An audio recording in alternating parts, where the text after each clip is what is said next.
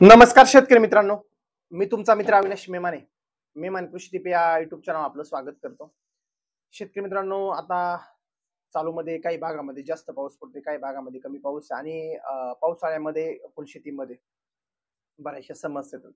काही भागामध्ये एवढा पाऊस आहे की प्लॉट पूर्ण पाण्यामध्ये गेलेले आहेत आणि बऱ्याच शेतकऱ्यांनी काही फोन केले काही शेतकरी एस एम एस करतात का बा पावसाळ्यामध्ये किंवा चालू पावसामध्ये जे व्यवस्थापन आहे फुलशेतीमध्ये तुमचा गुलाब असेल गुलछडी असेल शेवंती किंवा असलं जी फुलपिकं आहेत त्या फुलपिकामध्ये जे प्रॉब्लेम येतात पावसाळ्यामध्ये किंवा पुढे भविष्यामध्ये झुकारप्याचा प्रादुर्भाव असेल मुळकुळीचा प्रादुर्भाव असेल तर ते होऊ नये म्हणून त्याला कोणकोणत्या उपाययोजना केल्या पाहिजेत कोणकोणती त्यामध्ये औषध सोडली पाहिजे अशा असंख्य प्रश्नांचा वेध आपण आजच्या व्हिडिओमध्ये घेणार आहोत. तत्पूर्वी जे शेतकरी बांधव आपल्या चॅनल नवीन असतील त्यांनी चॅनलला सबस्क्राईब करा लाईक करा आणि शेअर करा. मध्ये बऱ्याच शेतकऱ्यांनी आता गुलाबाच्या लागवडी केलेल्या आहेत. काही शेतकऱ्यांनी शेवंती लागवडी केली तर काही शेतकऱ्यांनी अस्तर असेल झेंडू असेल कापरे असेल किंवा शेवंतीच्या शेतकरी बांधवांनी बऱ्याच लागवडी केलेल्या आहेत. काहींचे प्लॉट आता चालू मध्ये आहेत. म्हणजे आता काही हार्वेस्टिंग प्लॉट आहेत. काही शेतकरी आता नवीन लागवडी केली आहेत. तर काहींचा आता अजून एक पंधरावीस दिवसामध्ये प्लॉट चालू होतील. शेतकरी मित्रांनो फुलशेतीमध्ये काय होतं की बाबा तुमचं नियोजन महत्वाचं असतं. म्हणजे काय होतं जर नियोजन तगडं असेल तुमचं खत व्यवस्थापन पाणी व्यवस्थापन आणि काय होतं ज्यावेळेस तुम्ही फवारणी व्यवस्थापन करताय तर फवारणी व्यवस्थापन करत असताना ज्यावेळेस शेतकरी फवारणी करत असतो तर काय होतं पावसामध्ये बऱ्याच वेळा रिझल्ट येत नाही. म्हणजे जरी कारप्याची औषधं फवारणी केल्या तरी कारपा कंट्रोल होत नाही. कारण का काय होतं की मुळी खाल्लं ब्लॉक असते. कारण कंटिन्यू पाऊस पडतोय काही भागामध्ये. अगदी जमिनीला श्वासच घेऊन देत नाही. रात्रंदिवस पाऊस चालू आहे. अशा वेळी ज्यावेळेस आपण फुलामध्ये व्यवस्थापन करणारे शेतकरी मित्रांनो तुमची कोणती फुलशेती असू द्या? मग काय सांगितले तुमचा गुलाब असू द्या गुलचडी असू द्या असू द्या झेंडू शेवंती एक्स वगैरे कोणती फुलं पिकं असू द्या. काय करायचं? चालूमध्ये काही भागामध्ये आता पाऊस थांबलेला आहे आज. आणि ज्या भागामध्ये थोडासा पाऊस थांबलेला आहे तर ड्रिपने तुम्ही एखादं बुरशीनाशक सोडून द्या. आता बुरशीनाशकामध्ये काही जैविक बुरशीनाशक आहेत काही केमिकल बुरशीनाशक आहेत. तर जैविकमध्ये तुम्ही ट्रायकोडर्मा ट्रायको आणि सोडो तुम्ही ड्रिपने देऊ शकता.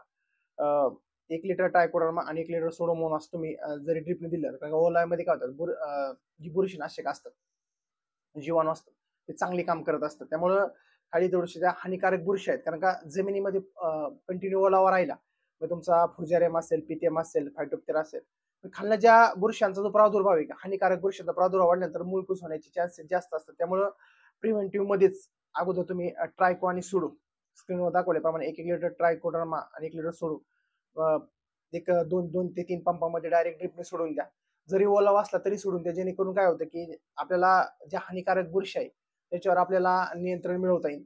दुसरं तुम्ही केमिकल सुद्धा त्यामध्ये फंजीसाईड सोडू शकता. केमिकलमध्ये तुम्ही रोको पावडर असेल किंवा ब्ल्यू कॉपर असेल याचा वापर करू शकता. रोको पावडर ठर ड्रिपने म्हणजे काय होणार आहे खाली पूर्ण तुमची मुळी ब्लॉक आहे आता चालू मध्ये आणि बुरशांचा प्रादुर्भाव पूर्ण ओलावा पा- सात आठ दिवस झालं पूर्ण पाऊस चालू आहे.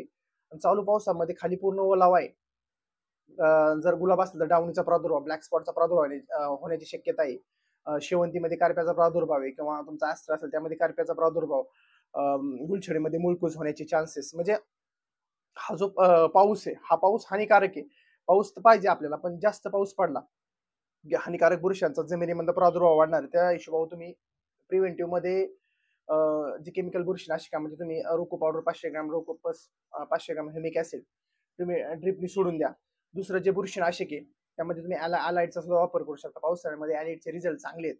पाचशे ग्रॅम ॲलिट प्लस पाचशे ग्रॅम ह्युमिक एक शंभर लिटर पाणी करायचं आणि ड्रिपने तुम्ही जर प्रिव्हेंटिव्हमध्ये खाल्लं सोडलं तुमचा गुंचडी असेल गुलाब असेल शेवंती असेल असतं कोणतेही जे फुलपीक असेल त्या ड्रिपने दिलं तुम्ही ज्या हानिकारक बुरशी आहे हा बुरशावर तुम्ही शेतकरी मित्रांनो नक्कीच नियंत्रण मिळू शकता. बरेच शेतकरी मित्रांनो चालू पाऊस आहे.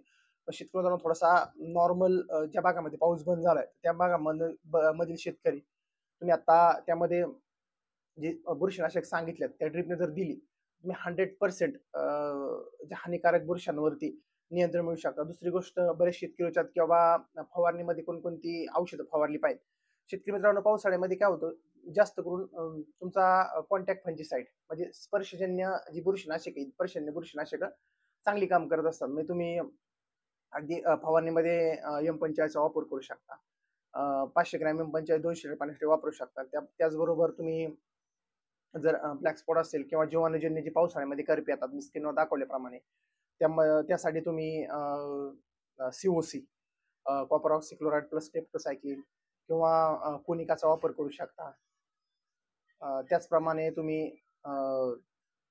नेटिव्ह प्लस स्टेप्टोसायक्लिनचा सुद्धा वापर करू शकता. म्हणजे काय होतं की वातावरणामध्ये पूर्ण बदल होतो. आर्द्रतेचं प्रमाण वाढलेले ऊन पडत नाही. त्यामुळं जमिनीलगत जे करपे होतात शेवंतीमध्ये करपा होतोय गुलाबामध्ये करप्याचा प्रादुर्भाव वाढतोय ॲस्टर असेल झेंडूमध्ये कांडी करप्याचा सुद्धा प्रादुर्भाव वाढतोय. म्हणजे काय होतं की वातावरण एकदा खराब झालं आणि कंटिन्यू पाऊस चालू झाला काही मुळी ब्लॉक होती. मुळी ब्लॉक झाली की अन्नद्रव्य अन्नद्रव्य पानामध्ये बनत नाही. सगळं स्टॉप होते. त्या आणि ओलावा वाढला की तुम्हाला करप्याचा प्रादुर्भाव. हा करप्याचा प्रादुर्भाव जास्त होतो. मी जीवाणूजन्य करपा जो म्हणतो आपण त्या जीवाणूजन्य करप्याचा प्रादुर्भाव फुल उत्पादक शेतकऱ्यांना आता खूप त्रास देत आहे. आणि त्या हिशोबाने जर तुम्ही फवारणी केला मी स्क्रीनवर दाखवल्याप्रमाणे नेटिव्ह स्टेप्टो किंवा कोनिका किंवा तुमचा कॅबरेटॉप असेल वर्ण एम पंचाळीस असेल म्हणजे जर ज्या भागामध्ये पाऊस सुकाडला त्या भागात सिस्टमॅटिक जर तुम्ही औषधं फवारली आणि ज्या भागात थोडासा पाऊस चालू आहे त्या भागामध्ये तुम्ही एम पंचाळीस बावीस तीन असेल मी कॉन्टॅक्ट फंजीसाईड जर वापर केला तर तुम्ही थोडंसं कार्प्यावर नियंत्रण मिळू शकता आणि ड्रिपने ट्रायको सोडू किंवा मग केमिकल जी फंजीसाईड सांगितली मागाशी तर ती जरी सोडली तरी बऱ्यापैकी एक आपण साठ सत्तर ऐंशी टक्के रोगावरती नक्कीच नियंत्रण मिळू शकतो. बरेच शेतकऱ्या करतात आल्यानंतर त्याला फवारण्या करतात किंवा जे फंजीसाईड आहेत फंजीसाईड मारली जातात. पण जर तुम्ही प्रिव्हेंटिव्ह मध्येच त्याचं जर रोखीचं व्यवस्थापन केलं तर शंभर टक्के शेतकरी मित्रांनो फुल फुलशेतीमध्ये तुम्ही चांगले सक्सेस ठरू शकता. कारण काय होतं की शेवटी निसर्ग आहे. निसर्गामध्ये पाऊस किती सुद्धा पडतोय. काही भागामध्ये पाऊस जास्त पडतोय काही भागामध्ये पाऊस कमी पडतोय पण पाऊस शेवटी आपल्या हातामध्ये. पण जेवढे आपण प्रयत्न करायचे त्यामध्ये फवारणी असेल खालनं त्याचं व्यवस्थापन असेल ड्रिपद्वारे तर ते जर तुम्ही ते केलं तर नक्कीच तुम्ही त्याच्यावर करप्यावर नियंत्रण मिळू शकता मुळकूज असेल त्याच्यावर नियंत्रण मिळू शकता. शेतकरी मित्रांनो फुल फुलशेतीविषयी संपूर्ण मार्गदर्शन आपल्या चॅनल उपलब्ध आहे.